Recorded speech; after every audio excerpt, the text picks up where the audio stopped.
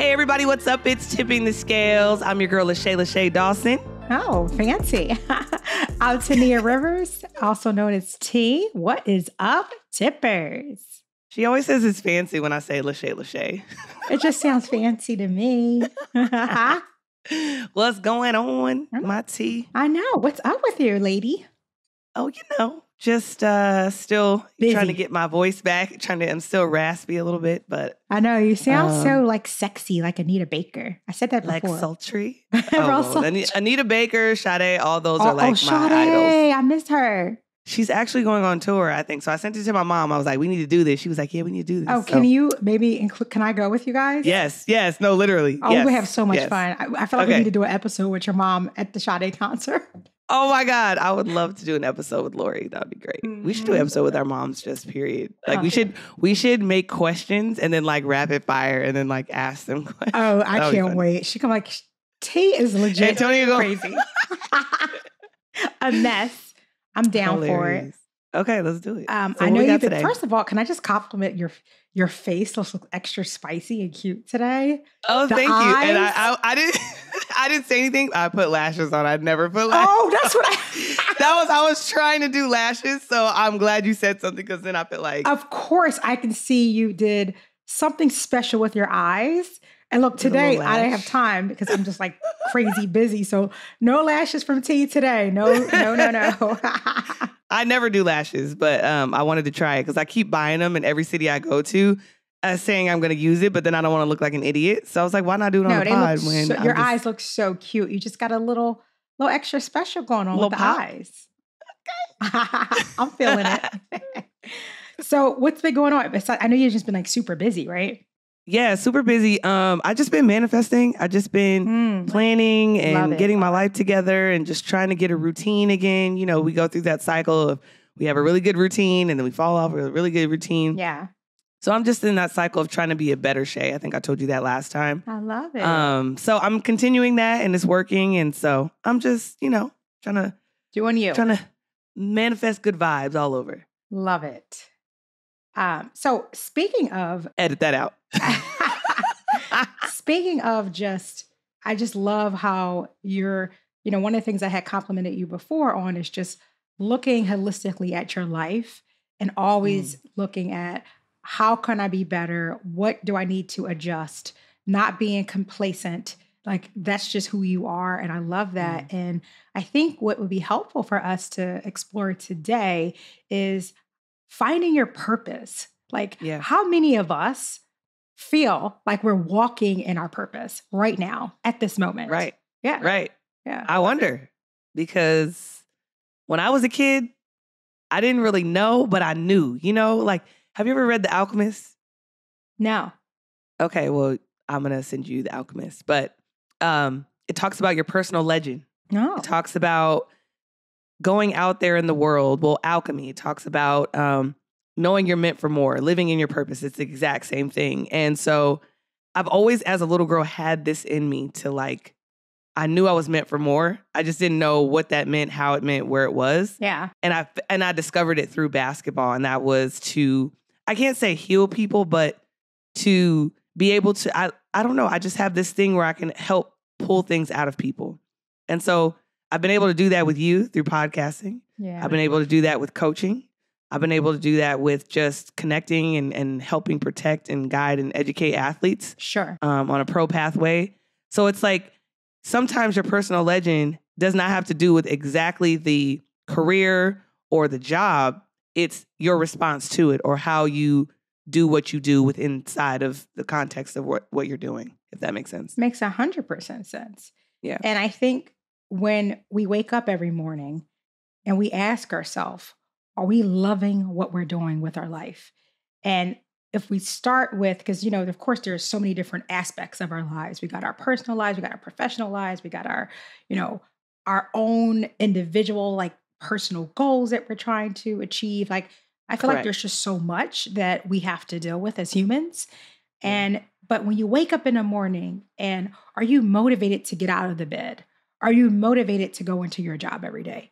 Are you motivated to just live your life? And if that answer is not yes, then I think you need to explore other things. And you know, I get asked this all the time is how do I know if I'm in the right job? And I always ask, and I go back and I ask you the question Are you passionate about what you do? Because the things that you're passionate about, you're going to love mm-hmm. doing. And it's going to feel like you're not going into a job every single day. It's going to feel yeah. like you're doing what you were meant to be doing in your life. Yeah. And it yeah. and, that, and not only does it about finding your purpose, but it brings you joy.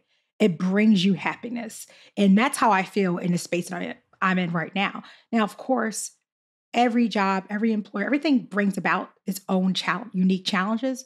But the work that I do fulfills me. It like energizes me and it yep. excites me. So when I get up in the yep. morning, I'm excited about the work that I do. And if you're not tippers or anyone who's listening or checking this out on YouTube, then I suggest that you start to find, you know, let's kind of do that list thing and you're listing out what makes you happy and don't think about the money because the money will come.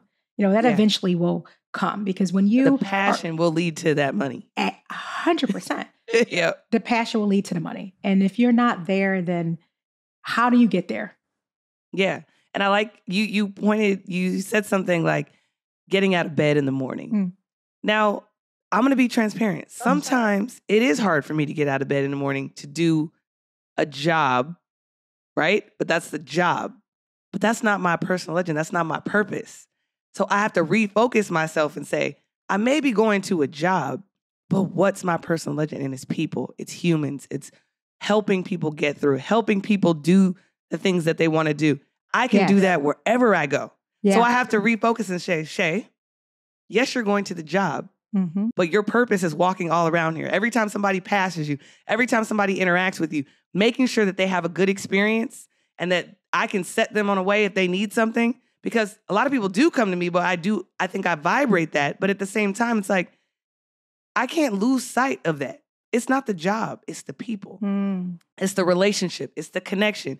That is what wakes me up in the morning. That's why I get up, not to go to the job, but to be with people, to connect with people. And so sometimes I have to remember, like, yeah, I'm upset at this person, or yeah, you know, I feel like I'm stagnant in this way, or yeah, I feel like I'm not growing, or yeah, I'm not feel like I'm not challenged. But I always know that if I'm not any of those things, what I can focus on is what I really came there to do.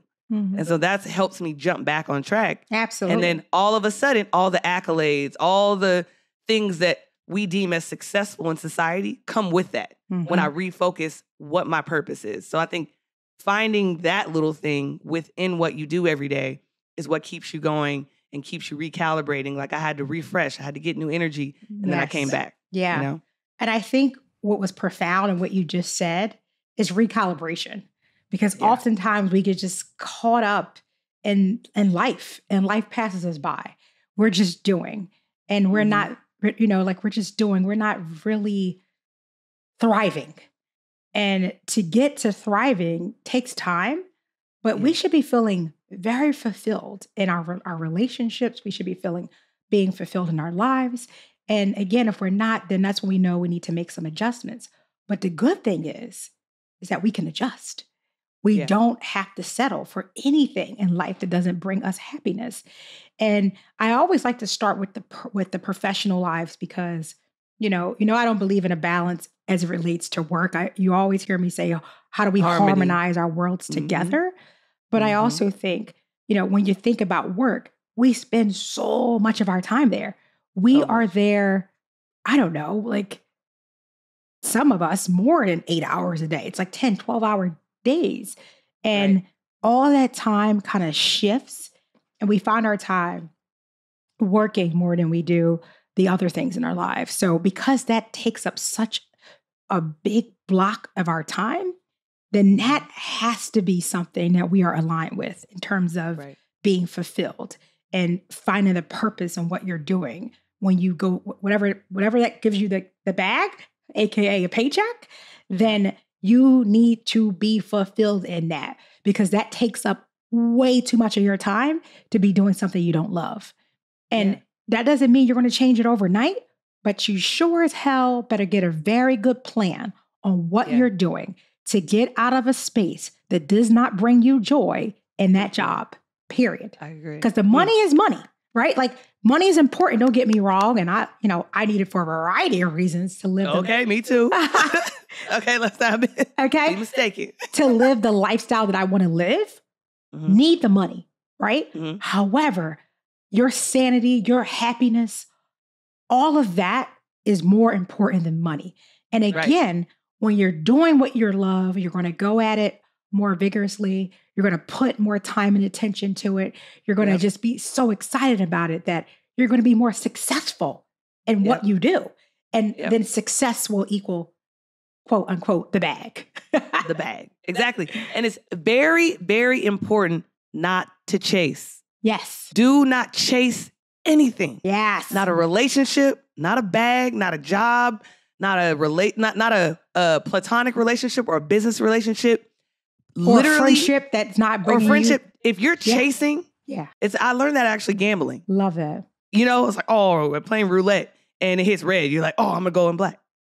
Or or let's say I bet everything and then I lose and I bet it back. No, you do not chase. Do not chase. You continue to just take steps forward in your purpose, being who you are, Yes. vibrating who you are, and then listening to the universe on how you're vibrating, how you're showing up. The world will tell you.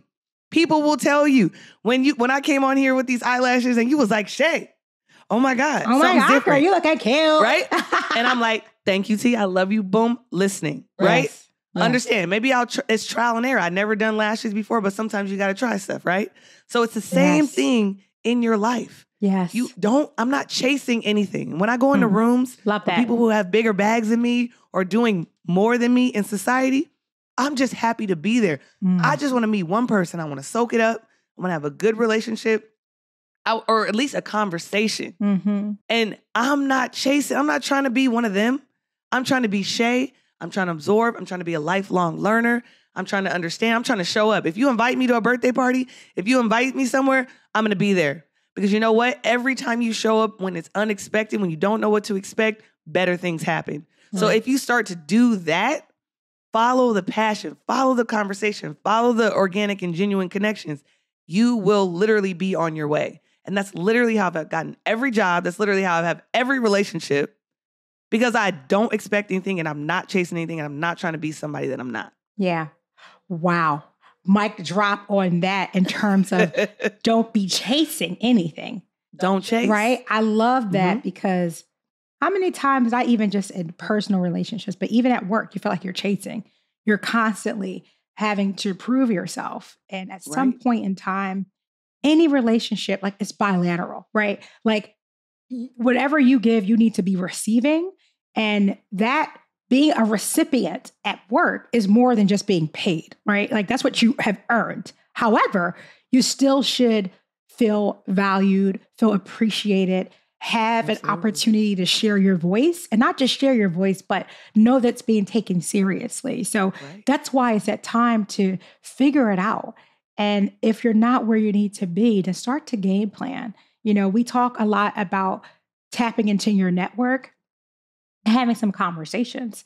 So you know, if you know that, hey, I want to be an entrepreneur and Mhm. whatever it is, I want to open up a shoe store, Mhm. then how do you start tapping into having conversations with other entrepreneurs to Mhm. understand the ups and downs? Because entrepreneurship is no joke Mhm. and you have to work really hard at it because you're going to have some Mhm. some high highs and some super low lows and you got to have the get get that gut gotta have prepared grit for to keep going. right? Mhm. But how do you start having conversations with it how do you start looking into um, grants you know i was just talking to someone the other day about um, black minority owned businesses small businesses that they're going to be giving out more grants this year as you look ahead in 2023 i saw that macy's is going to be um, investing a, a nice amount i forgot i can look it up a good amount um, of money into minority owned businesses and that's Wow. fantastic That is amazing. yeah i'm going to look it up right now because i just Yeah, look it up. So that's really interesting too, because it's like capitalizing on the moments, yes being ready so you don't got to get ready, right? So if you already start building something small and incrementally over time, grants like that are going to pop up. You know, Yeah. money is going to be available to grab so that you can continue to do the things that you, your purpose through that mission, right? So some people have businesses, but sometimes it's not about the actual business itself, it's the service that you provide. Yes. And the service that you provide, if it's rooted in your purpose, it's going to be successful. A lot of times people get have fear because it's not going to work or you know people speak their you know anxieties and their fears on them to stop people from doing things that I think will drive them forward or put them in a different place than that person, right? And so a lot of the times you have people in your world too who will be afraid to do it themselves and they'll speak that negative stuff towards you, but you can't listen to that. Yeah. If it if it's in your gut, if it's in your heart, you got to do it. Like God didn't give us ideas to be dormant, right? yeah. And I and I go through that all the time. I'm like, oh my god, I got another idea. I got I Mm. got notes. I got to Breathe life into the idea. Yeah. Exactly. Yeah. It's not going to just happen overnight by itself. Like you Mm. have to put the work in. And Yeah. you know what else? You have to be prepared to fail, people. And FYI, it's $30 million that Macy's 30 mil? 30 million that Ma- that Macy's investing um, to fund minority minority owned businesses. Um, there was an article um, that was just recently published by the New York Times, so check it out. Um, the tagline is Macy's plan to invest millions to fund minority owned businesses. So Yeah, we can probably put that link in the bio. yeah. we, so uh, for folks yeah. who are out there that want to start your own business, go for it. Um, again, I never, you know, because I'm just a very strategic thinker and planner, I never say, I always think you got to have a plan. So yeah, I think that you can start your business and, you know, and, and, and maybe still work because, you know, there's always time. However, you got to know when it's a good time to make that, that, so that transition, you know, well, if you you're know going to be an entrepreneur. You got to have a nine to five and a five to nine. Okay. You got to know when you can when you can make that full transition because you still have to pay your bills, you still have to live, but you also you cannot be afraid to fail.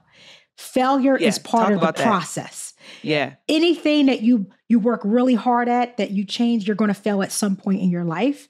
You know, that saying that I mentioned before is the setbacks that is going to be it's the setbacks in life that that best prepares you for your comeback. And Yeah. and it's real. Like you're And you gotta have it. You're going to fail. You're going That's that to fail. recalibration. Yeah. That's part You of gotta your, fail That's part of your journey. So that you can recalibrate. yeah. that's part of Literally. your journey. Listen, I was reading something um, this morning Mhm. about your life purpose. Ooh, you read in the morning? Wow, you're so You know me. I'm like, I wake up. I may do a little workout. I do a little yoga. because you get up on ten. I, cause you know, I, I get up on like a hundred. and I'm always up like with mad energy. Um, but this morning I turned the energy into like, you know, I didn't get a chance to work out. So I'm going to try to work out later. Uh, before the Sixers game, by the way, um, they're playing the Uh, Sixers playing the Suns tonight. Where at home or in uh, Philly? here in Philly. I'm so excited for you to go back. Wow. Okay. Anyway, I'll we'll be back in the house. Let me make sure We'll turn talk about that later. I know. So, anywho, um, this is something I want to share that I read. It's about your life Okay. purpose. It says, Your life purpose. You feel energized about its possibility, even if it's simultaneously terrifying. Remember, it's that failure component we talked about there. Correct. The same opportunity keeps coming up to you in different waves, ways, forms, and versions. So, how many times do you want to do something? And Shea talks about that universe and it's and it's in front of you, but you're just like, ah, you keep ignoring it when you know it's pulling at you. Like, you know, you have to take that leap, right? Yeah. Um, three more. One, it keeps coming up unprovoked in conversations, even with strangers. So, how many times? Because again, that passion, you can't keep that passion bottled up. It's almost like it's hard. It's like a flame that, like a fire that burns. It's hard to keep it contained, and you must burst that thing out. That's Yeah. part of the process. That's that's or your the purpose. environment. Yeah, It continue. You're like, this looks familiar. yeah, Oh my God, I'm having deja vu. It's like, because it's talking to you. exactly. Okay, two more. You wanted to do some form of it since childhood. Okay. Ooh. Ooh. Right? Preach. How many times have you said is I wish I could have done that. If I could do it all over again, I would do that. I always wanted to be a lawyer. And you went to college. Guess what? It's not too late to go back to law school. There are there are programs out there that you can go part-time. There are programs that maybe there's scholarships. I don't know enough about the scholarship world, but it's always worth looking into it to see if it's a possibility. But those things that you're passionate about that you love to do it, you probably mentioned at some point in your life when you were said when you was a child is when I grow up, I will do X, Y, and Z, Mhm. right? And the last And one, regret. Oof, yeah, right. Just get the chills, right? Yeah. The, the last one, which is my favorite of out of all five of them that I just mentioned, is you fantasize about it often. Right? How many times, You're speaking to me. You're right? Speaking to me. How many times do you fantasize about something that you want, that you that that you know it's almost like a part of your inner being? And and not only that, the it didn't what it didn't say is what about that inner voice that talks to you? How many times do we ignore? That we ignore. right? I be telling you too. you do. I be telling you. You do. You do. Calm down, Shorty. You do. You do. You do. You do be telling me. T, your inner voice just told you that. Why do you think you need? Because you know, some sometimes we feel like we need validation, confirmation. like, stop it. Your inner Like voice your girl is talking to you. She's speaking right here. She to be- you. Listen to Right. that inner voice because it's there to Mm. guide you. It's that um, it's that intuition that we again you go back to. Now, sometimes we gotta be careful, though. Like I must say, one caveat to that is be careful with the inner voice because your inner voice can speak positively, and if you don't be careful, that There's two. that that inner voice can speak negative life like we let our thoughts so because i am guilty of that too i'll think one thing and i'll run rampant with it and it may be maybe coming from insecurity maybe it's coming from past experiences but you know that inner voice starts talking so be careful that you know it, where that voice is coming from is it coming from a Which positive it is. place or is it Yeah. becoming or is it coming from a place of fear yeah Mm-hmm. Mm-hmm. And sometimes to distinguish the different voices, get still. Mm, Be still. mm. Sit in your house. love it Don't go do too much. yeah If you need to focus and you need to listen to that voice, you need to be still and you need to understand still how am I listening? What am I doing? Am I doing too much? Am I not doing enough? Mm. And then you'll know. then you'll know. Just listen. How many times that we don't take time and just shut it all the outside noises out? You know, some people love to meditate, and guess what? It is hard.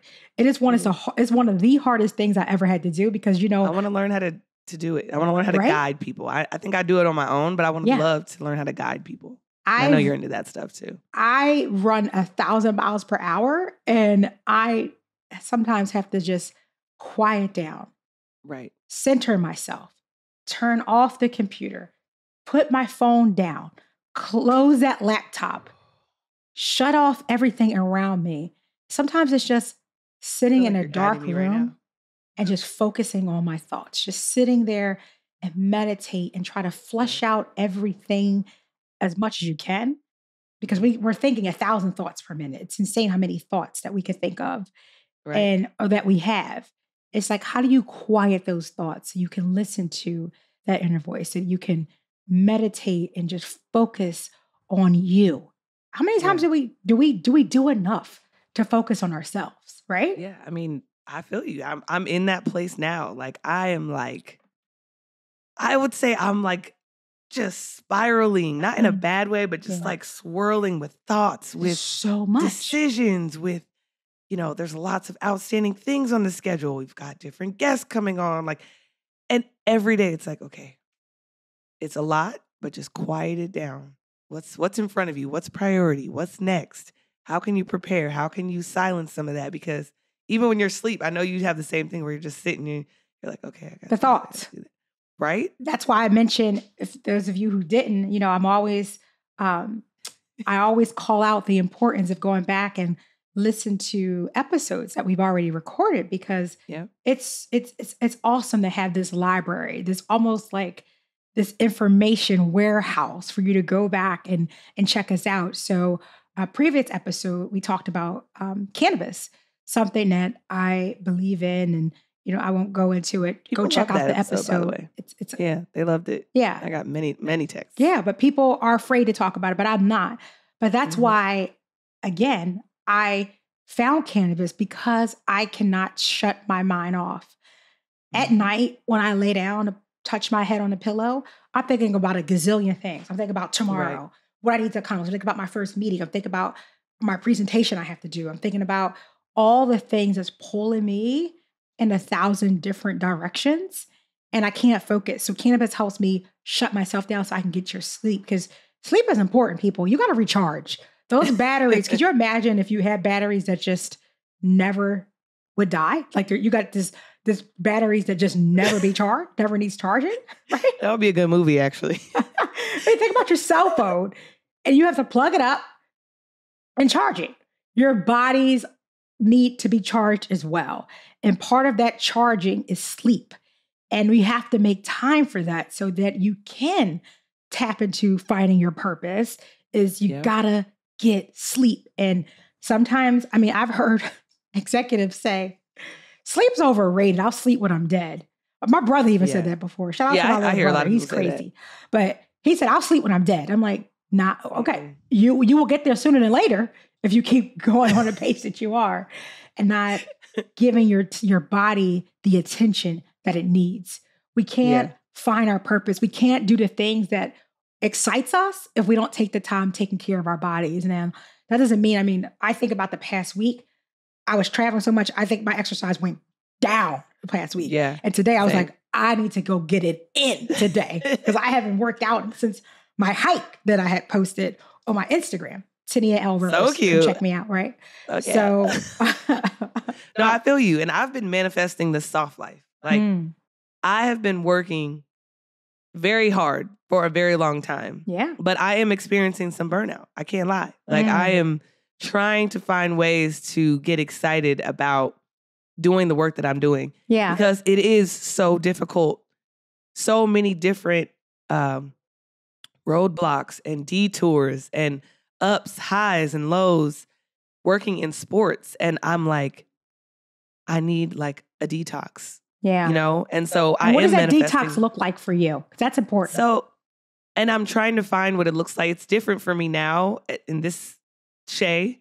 Um, as you yeah. know, I've been through so many transformations, but like a big one this past year, yeah, 2021 to 2022, just discover self discovery of who I am, like hmm. as a professional. I was battling with like, do I want to be like an executive that like dresses like this? And, and I'm like, no, yeah, I'm no. going to be you. Like, I, what speaks to me, like you said, that inner voice. Yeah. I'm listening to my inner voice, and I'm on sometimes where I am dressing like a certain executive, and I am commanding the room, or I don't smile as much in rooms with men, or you know, sometimes I bring my warmness, sometimes I don't. Like before, I'd ha- always have one type of way, and now there's many types of Shea. And so mm. I would say that love. I'm trying, yeah. So I'm just trying to, again, quiet myself and listen. Sometimes I don't have all the answers, but I'm not doing the same thing, getting the same results. Mm-hmm. I'm trying different things to try and get different results. Yeah. Saying, oh, I like how that feels. Mm-hmm. I like, I don't like that. So I'm working on finding this harmony between who I am as a professional and who I am as, you know, Shea, and then trying to harmonize the two. Um, because where I'm at too, once you achieve certain success in sports, it's like now where you go, right? Now, so after innovating next? and helping to create a new league yeah. that never existed before, you know, now we've got a TV deal and a, well, streaming deal. And it's like, okay, well, what can we do next? And so working on a new project and is that going to give me the same life and same purpose? So it's it's it's a constant conversation with myself yeah. and a constant like that's to work. That that's that. Re- yeah. That's that calibration that you talked about. Exactly. Yeah. Exactly. Yeah, and that's and that's important. And I love what you said, Shea, in that try new things, people. Yeah. You have to try new things. And again, maybe you don't be successful in the first and you know the first two, third go around, but who cares? You got to keep going after, especially if you know that it brings you joy that it fuels your fire, you know, that it basically is something that you believe in, something that you've mm. always wanted to do. You know, think about that.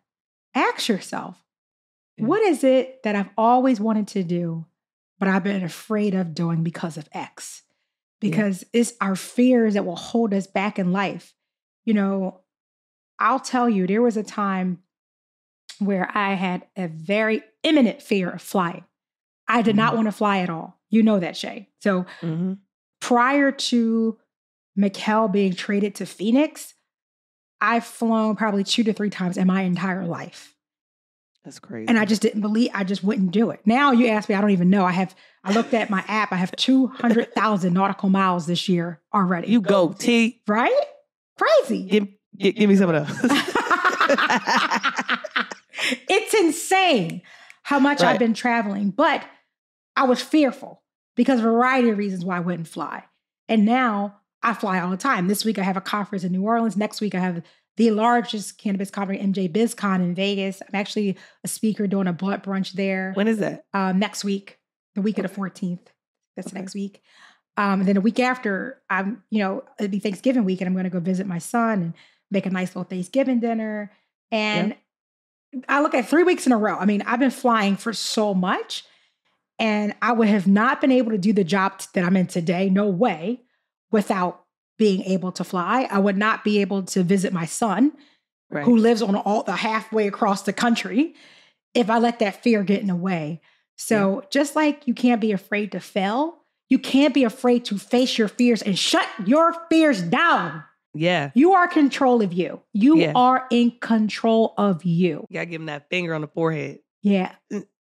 But also, the other side of your thing is that you also are living in your purpose, which is allowing you to fly yeah. all over the place. Yeah. Your son literally Yeah. drives you. That is, oh, that is that is your purpose. That's my purpose. is to be a mom and to raise an amazing human being to do what he's doing. Yeah. And then also your love for people, which allows you to work in HR and go and find and discover and meet new people and bring it back to the organization to create better cultures and better environments for other people. Yeah. You're not chasing to go in Vegas. You're not chasing to go to Phoenix. You're not you weren't chasing to be a mom. That is your purpose. And Yeah. so sometimes you don't have you don't have to chase because it'll Yeah. come. Okay. You know? Well, I don't think it gets any better than that. Shea always has the the nice, like she always brings us home so eloquently. so listen, tippers, um, thank you.